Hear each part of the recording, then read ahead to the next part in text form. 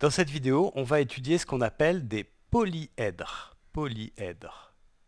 Alors, les polyèdres, bon, ça c'est un mot un peu compliqué, mais en fait ce sont des figures en trois dimensions, donc des solides qui ont la particularité d'avoir des surfaces planes qui sont des polygones. Alors, tu n'as peut-être jamais entendu ce mot-là, mais par contre, je suis sûr que tu connais déjà des polyèdres. Par exemple, certainement tu connais, tu sais ce que c'est qu'un cube.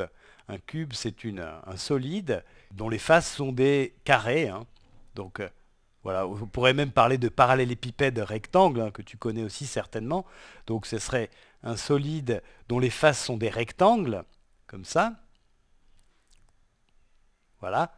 Donc là derrière, les faces invisibles sont derrière, voilà. Donc c'est bien une figure dans l'espace à trois dimensions et qui a euh, des faces qui sont des figures planes, qui sont en fait des, carrés ou des rectangles. Hein. Voilà. Alors je suis sûr que tu en connais d'autres. Hein. Par exemple, tu as certainement déjà entendu parler de ce qu'on appelle une pyramide à base carrée. Hein. Alors la pyramide à base carrée, je vais essayer de la faire comme ça. Donc c'est un, un solide qui est formé euh, de triangles. Voilà. Et puis là, je vais faire la face qui est cachée les faces cachées, voilà.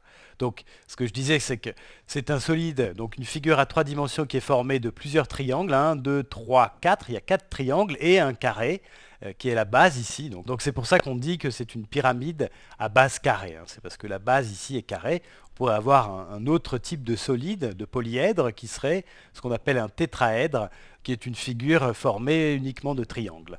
Voilà. Alors bon, ça c'est quelques exemples de polyèdres. C'est juste pour te dire que ce mot polyèdre, même s'il est compliqué, en fait, il cache des choses que tu connais déjà, dont tu as déjà entendu parler très souvent.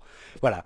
Alors ce qu'on va faire dans cette vidéo, c'est étudier en fait plus précisément les patrons de ces polyèdres. Donc les patrons de ces solides-là. Hein. C'est ça qu'on va essayer d'étudier. Alors, qu'est-ce que c'est qu'un patron? Bon, tu peux voir ça de deux manières différentes. Soit tu peux imaginer que d'avoir, par exemple, ce, parallélépipède rectangle fait de papier. Et donc, ce que tu peux te demander, c'est quelle figure ça, donnerait si tu le découpais, si tu l'aplatissais, en fait, selon, euh, en, découpant les faces pour en faire une représentation plane. Hein. Voilà, quelle figure tu obtiendrais? Ou alors, à l'inverse, tu pourrais te dire quelle figure je dois découper dans une feuille pour pouvoir ensuite la plier et, obtenir un parallélépipède rectangle comme celui-là. Hein. Alors en général, quand tu prends un polyèdre, il y a plusieurs patrons, euh, tu peux faire plusieurs patrons différents. Hein. Alors je vais prendre un exemple simple, le plus simple c'est probablement celui du, du, cube. Donc je vais redessiner un cube ici, voilà, donc là cette fois-ci c'est que des carrés. Toutes les faces sont des carrés.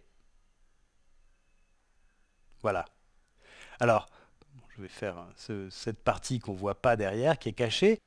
Alors maintenant, je vais prendre un jeu de couleurs pour essayer de bien comprendre ce qui se passe. Alors déjà, je vais commencer par colorier euh, la face du dessus, hein, du dessous, pardon, la face du bas, celle-ci. Voilà.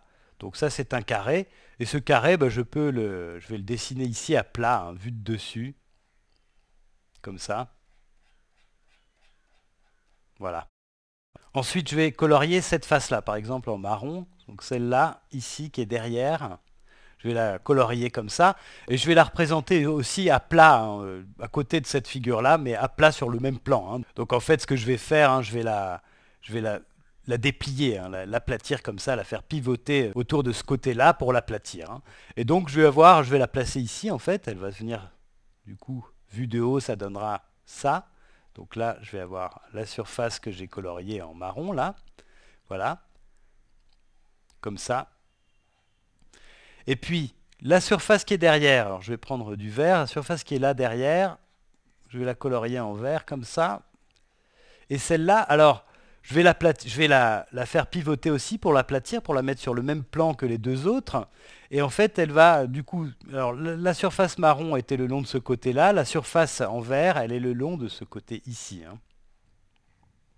Donc, je vais la déplier comme ça, et je vais la placer ici. Elle va, en fait, elle va venir se placer ici comme ça. Voilà. Alors maintenant, il me reste, il me reste encore là j'ai trois, surfaces, il me reste encore euh, trois autres surfaces, et ces trois-là. Alors, je vais prendre pour celle-ci du rouge, je vais le faire dans l'autre sens, comme ça. Je ne sais pas si tu as continué à voir bien, mais c'est cette face-là qu'on voit ici. Et je vais de la même manière la faire pivoter le long de ce côté-là, ici. Donc ce côté-là, je vais le repérer sur cette figure, c'est celui qui est là. Hein.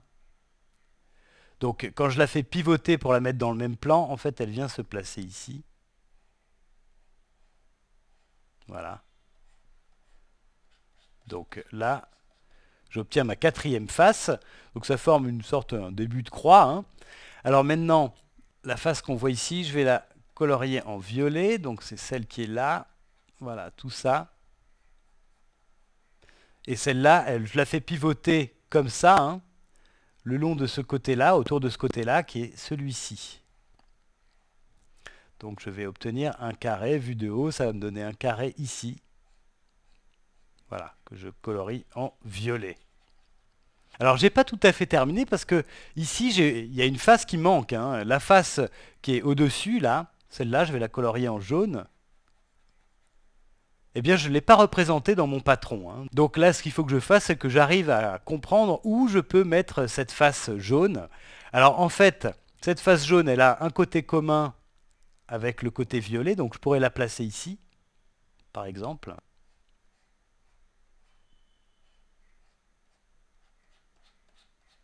Donc tu peux imaginer ça en te disant, bon, je fais pivoter en fait les deux faces là le long de ce côté.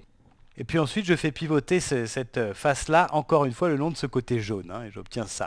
Maintenant, tu aurais pu aussi la placer ailleurs, hein, parce que la face qui est jaune là, elle a un côté commun avec le côté rouge aussi, donc le côté rouge, il est là. Et donc j'aurais pu la placer ici. Et en fait, j'aurais pu la placer là aussi, et j'aurais pu même la placer ici, puisque cette face jaune, en fait, elle a des côtés communs avec les quatre faces qui sont là, la face violette, la face rouge, la face euh, verte que qui, est, qui, est, derrière, qu'on voit plus du tout, et puis la face marron qui est ici, euh, qu'on voit plus non plus. Voilà. Donc, cette face jaune, la dernière, j'aurais pu la placer soit ici, soit ici, soit ici, soit ici. Voilà. Et, ça me donne quatre patrons euh, différents. Hein. Alors ça, c'est la, forme la plus classique hein, qu'on utilise pour le patron d'un cube, maintenant tu aurais pu obtenir quelque chose d'autre. Parce que par exemple, cette face rouge, tu pourrais la placer ici en fait. Hein. Tu aurais pu, je vais, refaire rapidement ce, patron. Donc si je pars de la face qui est en bas, je pars toujours de celle-là, voilà, comme ça. Là je pourrais mettre la face marron ici comme je l'ai fait. Voilà, ça me donnerait ça. Là, derrière, je peux mettre la face verte, hein, qui est celle qui est derrière. Je peux la mettre ici, si je veux.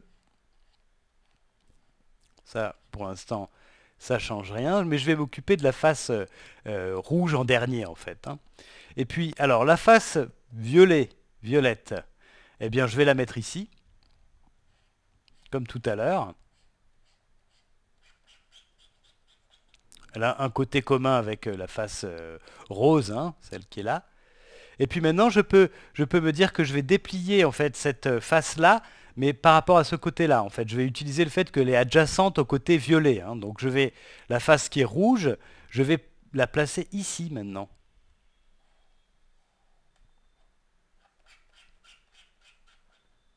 Voilà. Et puis la face jaune, je peux la placer soit ici, soit ici, soit ici, soit ici. Hein. Donc je vais la placer ici par exemple. Voilà. Et maintenant, si tu imagines replier euh, cette figure selon chaque arête, en fait, tu vas de la même manière retrouver le cube qui est ici. Hein. Donc voilà, ça c'est deux patrons différents, il y en a plein d'autres. Hein. Ça dépend en fait de comment tu vas déplier le cube. Bon alors maintenant on va faire un autre exemple, en fait on va prendre l'exemple de la pyramide à base carrée, donc je vais la, je vais la redessiner ici. Hein. Je vais redessiner une pyramide à base carrée. Je vais essayer de la faire un peu plus belle que tout à l'heure. Je fais mes triangles. Ça, c'est déjà une face. Ensuite, je vais faire partir le, carré comme ça. Voilà, et puis là, je vais dessiner les faces cachées. Alors, voilà. Alors, je peux commencer à représenter la base. Hein. La base ici, c'est cette surface-là, qui est un carré. Voilà. Donc ça, je peux la dessiner à côté. Vu de haut, c'est un carré. Voilà. Et maintenant, je vais représenter les quatre faces qui sont, des, qui sont quatre triangles. hein. Alors, je vais commencer par la face qui est ici. C'est celle qu'on ne voit pas derrière, là. Voilà, celle qui est là, que je dessine, que je colorie en, rose. Eh bien, celle-là, je vais la placer le long de ce côté. hein. Ça me donne un triangle, comme ça. Voilà. Ça, c'est ce que j'obtiens quand je fais, pivoter cette face-là autour de, cette arête euh, pour la mettre dans le même plan. J'obtiens vue de haut, ça me donne ce carré à coller à ce triangle. hein. Ensuite, je vais faire la même chose avec euh, cette face qui est là, qui est cachée aussi parce qu'elle est derrière, on la voit pas. Et en fait, c'est un triangle et qui, est, euh, a cette arête en commun avec la base rouge. Donc ça, je vais le, déplier, je vais l'aplatir aussi. Et donc, je vais avoir un triangle pardon, qui va venir se mettre ici. Voilà, comme ça.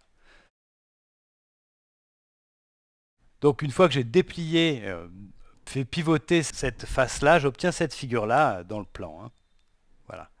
Maintenant, il me reste cette face-là, il me reste encore deux faces. hein. Celle-ci, que je dessine en vert. Donc celle-là, je vais la faire pivoter autour de cette arête, comme ça, pour la mettre à, plat. Donc cette arête, je la retrouve ici. hein, C'est la face qui est opposée à la face rose. Donc euh, voilà, ça me donne ce triangle-là. Vu de haut, ça me donne cette figure. Alors maintenant, il me reste la dernière face, hein, qui est celle-ci. Celle qui est là devant. Ça, c'est celle qu'on voit le mieux. hein. Voilà. Donc celle-là, je la fais pivoter autour de cette arête pour la mettre dans le plan de la base.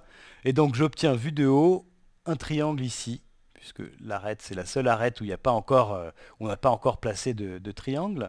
Donc ça me donne un triangle ici. Voilà. Donc voilà, ça c'est un patron de la pyramide à base carrée. Et si tu peux imaginer replier les, les triangles hein, pour que leur sommet euh, libre euh, se rejoignent, et tu verras que tu retrouves exactement euh, cette pyramide-là. Alors comme tout à l'heure, ça c'est un patron, mais il y en a d'autres. Par exemple, j'aurais pu euh, faire comme ça plutôt. Alors je vais faire rapidement la base carrée. Voilà. Sur cette arête, je vais placer ici le triangle rose, comme tout à l'heure, je vais assez vite, hein, je, ref- je refais ça assez rapidement. La face bleue, je la laisse ici, comme ça.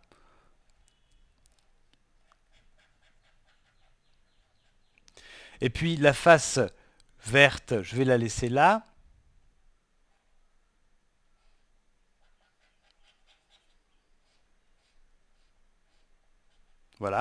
Et là, en fait, la, face violette, je l'ai placée ici tout à l'heure, mais en fait, elle a une arête commune avec la face verte. Donc j'aurais très bien pu la dessiner, en fait, le long de cette arête verte.